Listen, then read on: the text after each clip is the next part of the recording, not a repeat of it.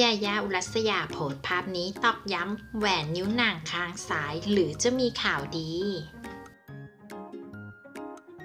เรื่องความหวานขอบอกเลยค่ะว่า คู่นี้เขายืนหนึ่งไม่เป็นสองรองใครนะจ๊ะสำหรับคู่รักซุปตาช่องสามณเดคุกิมิยะ และยายาอุรัสยา เพราะมีโมเมนต์หวานๆออกสื่อให้แฟนคลับชาว NY ได้ฟินจิกหมอนกันอยู่เป็นประจำ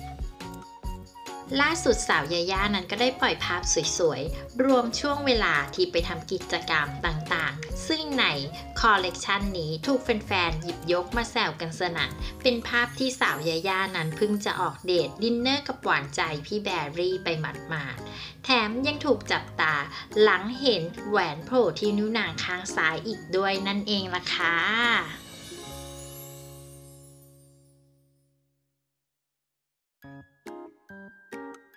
ว่าแต่จะมีข่าวดีอะไรหรือเปล่านะ และเพื่อที่จะไม่พลาดคลิปใหม่ๆ อย่าลืมกดติดตามค่ะ